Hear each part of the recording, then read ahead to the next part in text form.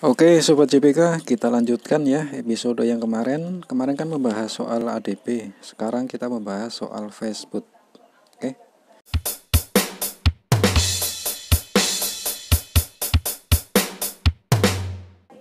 Perintah-perintah di Facebook hanya berlaku pada saat HP sudah posisi Facebook ya. Ini namanya belum posisi Facebook. Kita masuk ke ADP dulu Minimal ADP kita ketikkan perintah agar dia masuk ke Facebook. Adp reboot.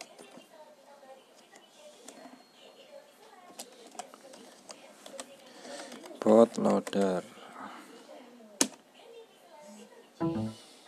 nah HP-nya sudah masuk ke Facebook.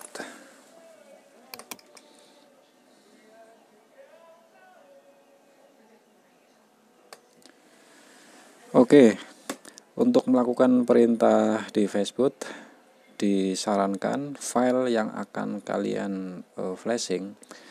Facebook itu kan cenderung untuk flashing ya, untuk ngeflash baik itu zip, uh, AMG, format AMG maksudnya. Ini disarankan filenya diletakkan dalam folder Facebook exe. Contohnya seperti ini. Tujuannya apa kok diletakkan di dalam folder Facebook exe biar lebih cepat terbaca bos? Ya biar alamatnya ini enggak jauh karena kita menggunakan perintah Facebook. Oke yang pertama kita ketikkan dulu ya perintah yang pertama itu untuk mendeteksi perangkat Facebook device. Devices. Nah dia terdeteksi dengan ID sekian. Kalau belum terdeteksi berarti drivernya belum terinstall. Yang nggak tahu cara install driver silahkan simak video sebelumnya. Oke selanjutnya perintah Facebook reboot bootloader Facebook reboot bootloader ya untuk refresh Facebook doang.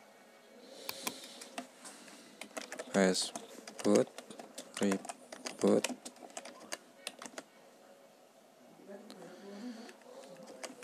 Loader. Dia nge-refresh doang Facebooknya. Nah, kan cuman nge-refresh. Kemudian Facebook Flash Recovery IMG ini untuk memasang TWRP ya. Ini untuk memasang TWRP cara masang TWRP eh, bolehlah saya eksekusi di sini. Jadi video ini akan panjang ya. Untuk lebih jelasnya kalian buka deskripsi. Di situ ada lebih spesifik menit keberapa perintah Facebook bla bla bla dikerjakan. Jadi kalian tinggal klik. Misal kalian mencari perintah cara uh, flash TWRP ya tinggal klik di menit berapa gitu. Nah ini.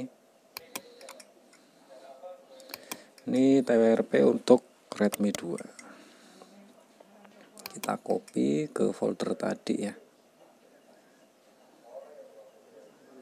folder Facebook exe nah ini.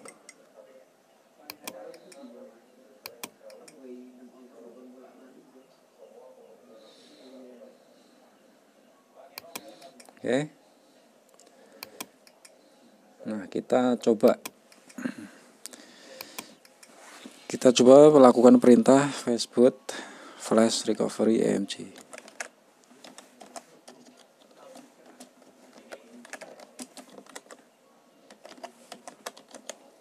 recovery terus nama file yang tadi.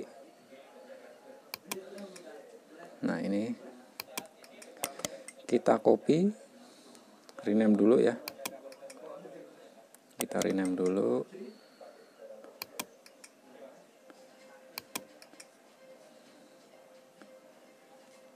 Nah kita paste di sini. Terus belakangnya tambahin titik IMG karena formatnya IMG ya kita klik enter Nah, dia sudah terpasang TWRP.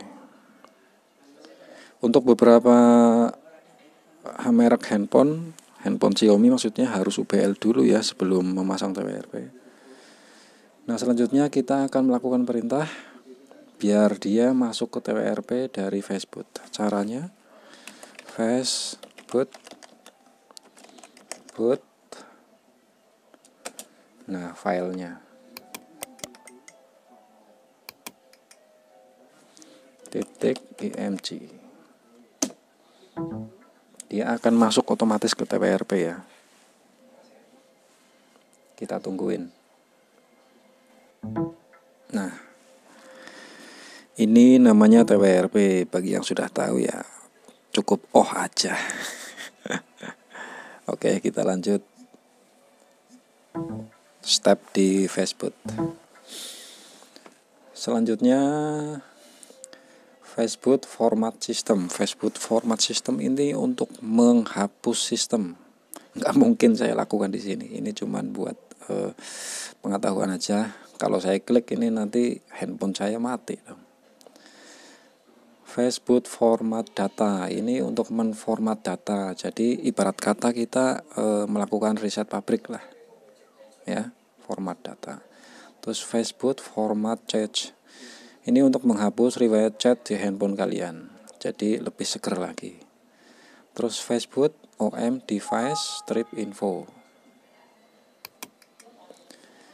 Ini untuk e, menampilkan daftar ini e, ngecek UBL lah biasanya dilakukan untuk ngecek UBL. Oke, kita coba Facebook OM device info.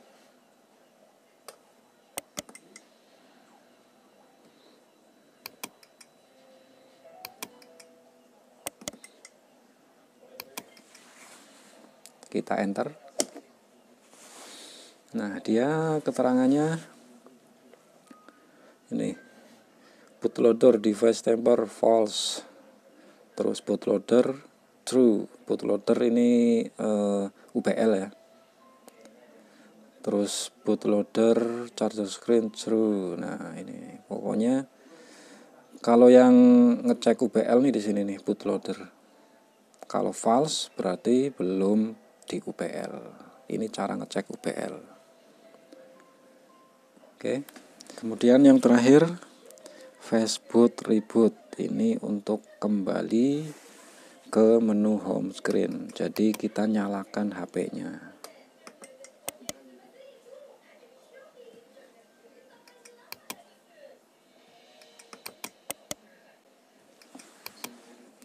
Kita lihat HP-nya, saya tekan enter ya. Nah, dia nyala kembali. Oke, sekian saja tutorial sharing berbagi ilmu, belajar bersama. Cara mempelajari e, mulai dari ADP debugging sampai ADP Facebook ya. Semoga membantu. Sampai jumpa pada video selanjutnya. Salam.